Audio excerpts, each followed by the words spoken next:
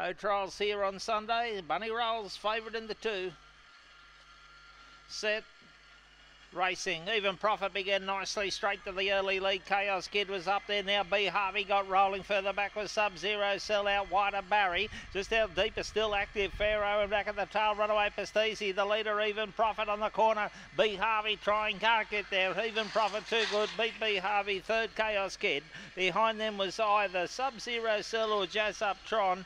Then came in Barry. How deep was the other one active Pharaoh and runaway Pastisi. Good run 1764 four.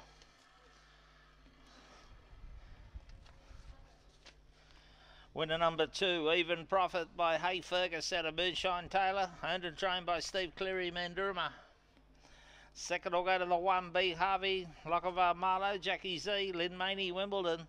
And third of the four, Chaos Kid, Renegade Chief, Sarah Jane for Ray Gold of Bathurst. 2, 1, 4 and 8 the numbers. 1764 the time. Three and a quarter by one.